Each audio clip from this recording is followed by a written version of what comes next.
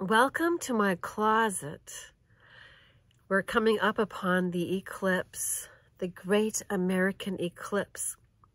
The other strike up from the one I experienced, which was the one that entered in through the United States through Oregon. It went out through uh, Charleston, South Carolina.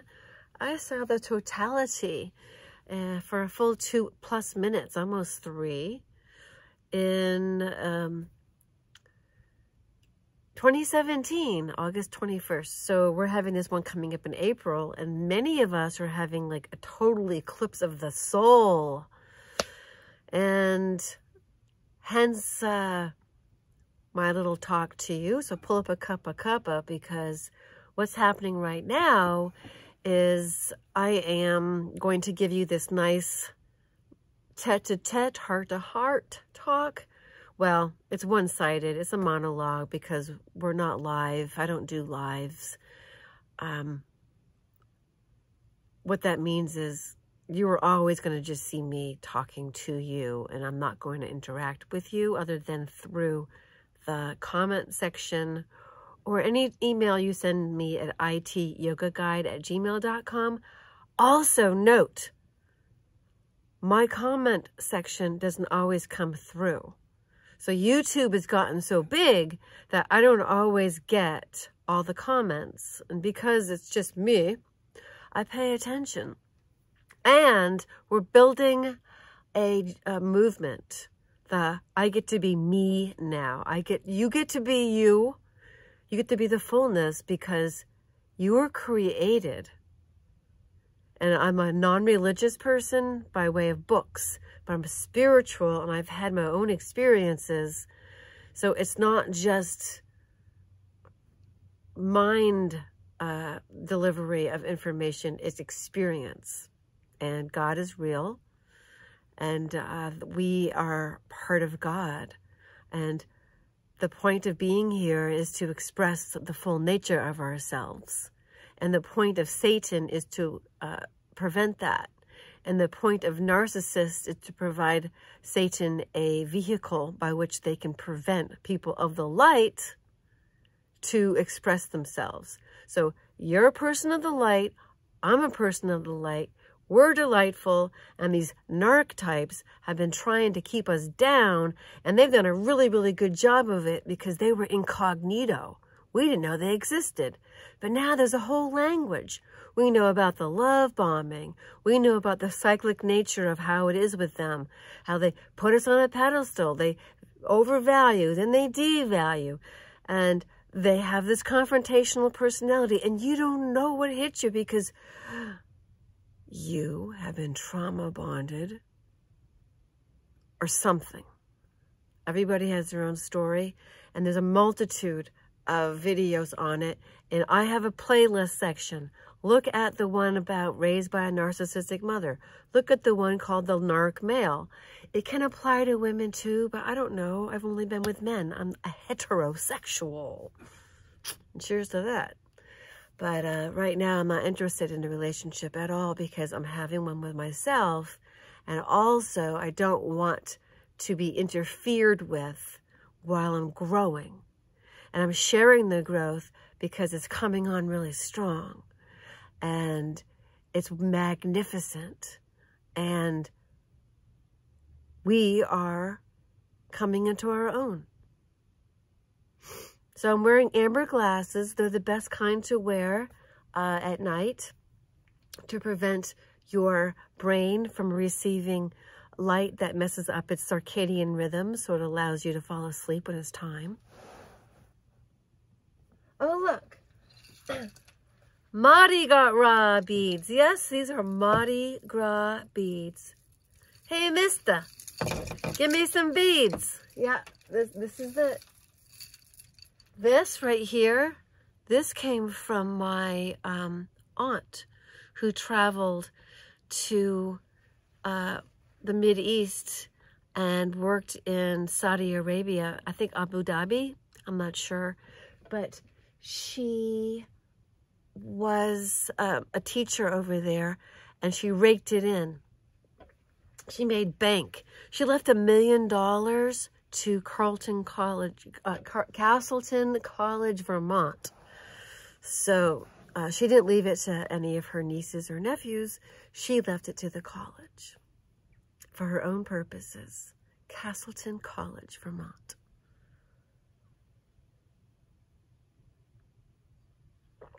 Probably they kept her plaque up for a whole year and then took it down because nobody from her family ever came wondering why. Um, but apparently, I, I, think I can probably go there and prove my heritage and get a, a discount.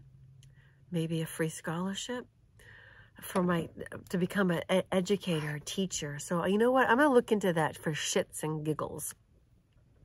Yeah, I'm serious. My aunt my narc mother's sister, her oppressor, actually, Virginia the Battle Axe, she left $1 million so that her name could be put on a plaque to create a wing on a building rather than giving it to her nieces and nephews. And especially, there's a few nieces on her youngest sister's side I'm not talking about me, that really could have used it. Such a shame, these narcs. They give the money to the wrong people. They're such pompous asses, aren't they? yep. I sure hope my parents leave me some money. I could use it. But you know something? In the meantime, one does have to go. Oh. I lived to be able to see this day, meaning I lived through the narcissistic abuse of being raised by a narcissist, not knowing it, and wondering why I kept attracting these types. Learning the language, learning the lingo, hoovering was my downfall, and I became addicted. So it was my fault, but not my fault. I, it was a combination of programming and addiction. Then there's disassociation. Your brain gets messed up. You actually, because of the stress, have a change in brain chemistry. There's a video that I have that if you ask me, can you tell me that video? Please send it in a nutshell. It tells you everything that happened to you. I have it in, in, in a file and I can send it. Um, if you email me at ityogaguide.com, that's IT Yoga Guide. IT is Inner Transformation Yoga Guide. You know, like a tour guide. oh, I can't tell you though, on this uh, road to recovery, sometimes I hit some bumps and uh, it's always the same allow yourself to go through something, the more you resist, it persists. And then careful of indulgences. It's as easy as that. It's not a big deal. It really isn't. You're going to be human. So you're going to have a day that you feel really happy, and then you're going to have a day that you don't feel so happy. That doesn't make you manic depressive. That doesn't make you bipolar. It makes you human. My goodness. We are so hard on ourselves. Why? Because we had a narc parent. We don't have to be perfect to be loved. We're lovable because God created us. And you know what a matter of fact is? The truth of our being? And I know this for a fact because this is one of my spiritual experiences. People, I had one of those heightened spiritual experiences where you hit nirvana and then you get Shaktipat, which is essentially the Kundalini. Kundalini, ooh, that's why, ooh, and all up and down the spine. And, and I was, I felt like I was shaking. I felt like I was a live wire. And I said to somebody, is my entire body vibrating? Am I moving? And it felt like I was going like this, but I wasn't.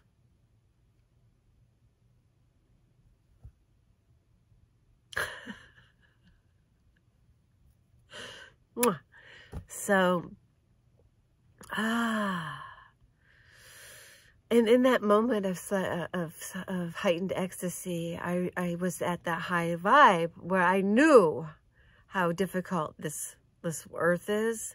But I also knew that if we keep remembering, we have to keep remembering that life really, we really are, life really is okay, all right, right now, and everything really is perfect, and that we really do have a connection to God because we are part of God, and our consciousness is a refraction, like the rainbow has all these colors that you don't see unless it's split by a prism. So then that white light becomes bands And our experience has different wavelengths, highs and lows, just like colors, frequencies, notes. Yeah. But I still allow myself to have my grief because I have a physical body. And therefore, I allow it. I'm now learning how to have more inner authority. People do give me their two cents worth and it's all taken well. It's all taken in, in, in, into account. I ask for it. I welcome it. When it's provided unwelcomed, I, I take it in stride.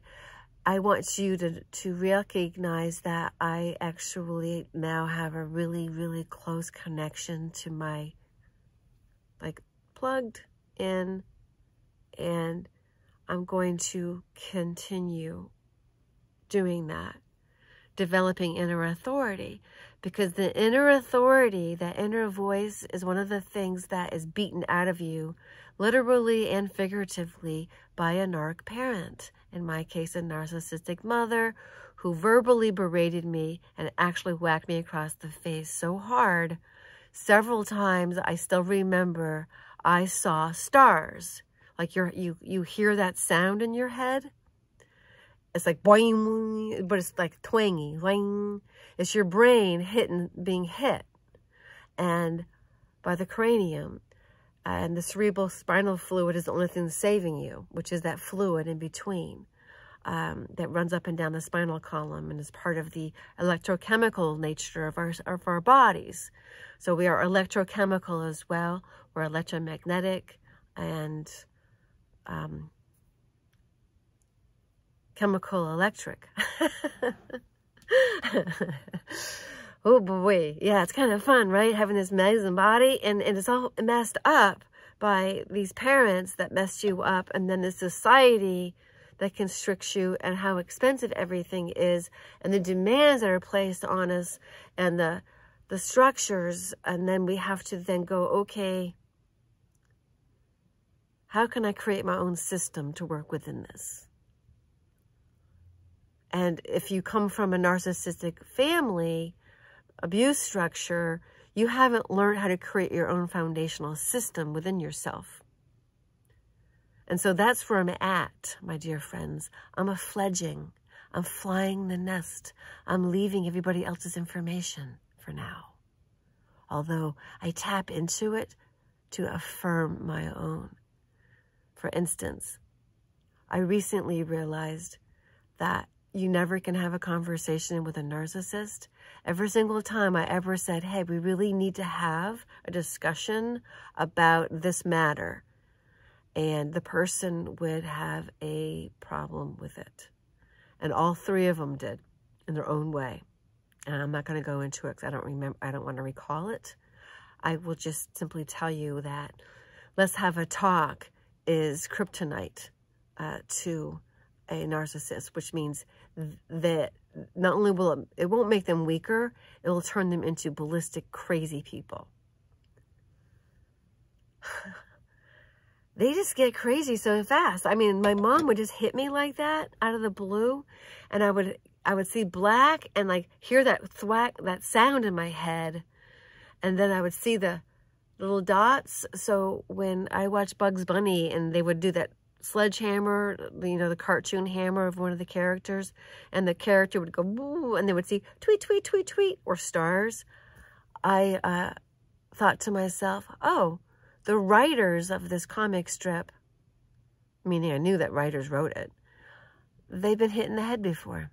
So I thought it was normal for your mother to hit you so hard in the head because you said something they didn't like and you're under eight years old.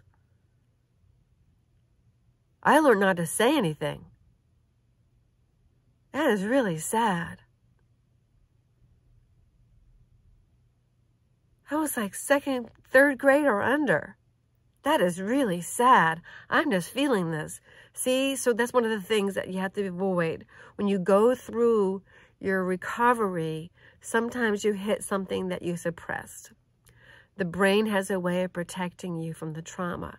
That's why there is a danger to going back into the past. However, if you have a reoccurring pattern in your now, it's affecting your ability to enjoy life, you're going to have to face some of those ugly facts. And those people that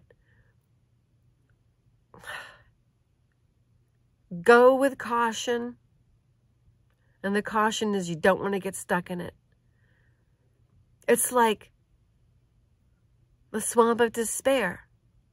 You don't want to like the, like the Bilbo um, Baggins, the Hobbit, the Return of the Ring, whatever. They go into the doom, and it's like Harry Potter, and those if you they make you feel doom. You have to recognize when you're going into the doom and pull yourself up. So it takes a spiritual warrior. And sometimes I fail. So learn about mineral baths, salt baths, take a bath in salt. I need to do this. I need to get an iron um, bracelet. We're going to talk about all of that because in your recovery and in your discovery of yourself, oh light being, do you not realize that there are dark forces that want you to continue to be dim and small? Do you not realize that they put all this energy into the narcissist? Not only did the narcissist steal energy from you, the narcissist was also receiving energy from the demonic realm. This is my theory. And therefore, trying to keep you down. Do you realize what kind of light being you are? All you have to do is be happy.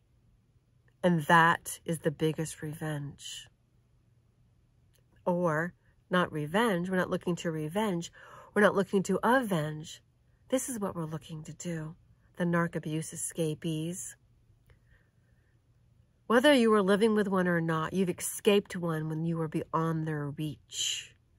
And if they're the garden variety and they aren't that bad and you tolerated them for over 20 years and they're not abusing you badly, verbally or physically, or poisoning your food or putting their butt on your toothbrush head, no problem. Learn to gray rock. Learn, learn to disconnect. Learn to Act like you're listening to them when you're not listening to them without being smug. Because there's something about the de demonic force of the narcissist. They know when you're being facetious, solicitous, and duplicitous. Well, they don't know about the duplicitous part because they are. They just know when you're being disingenuous, okay? So be cool, be chill, be aware of what you're dealing with. Now, I don't want to live my life like that. you have at it. If you're still living with one, I go out of Dodge. But it's not easy, I tell you. It's difficult and it's scary and it requires a lot of personal resourcefulness, ingenuity, fortitude, and creating a community and learning learning to create a community. So it forces one to create community. And it took me a long, long time to be able to do that. Contrary to what your narc parent told you, you're really interesting. You're really valuable. You're a real character, probably, and you're probably a lot of fun to be around. So let's leave off at that. I'm in the closet right now because I've been doing a major reorder and cleansing, not a purging, but a reorder, and uh, it's been going really well. I finished my kitchen. I created a system, uh, and we'll we'll talk more about that order and organization later. But the major thing is that when you are going through narcissistic abuse recovery, you are going to go through a period of clutter. And the last thing you want to do is give yourself a hard time because God knows you've had enough of a hard time. Be easy on yourself. Take a look at my videos uh, on the playlist, brainstorming for childhood trauma recovery. And I will be filling out more of that and fleshing it out.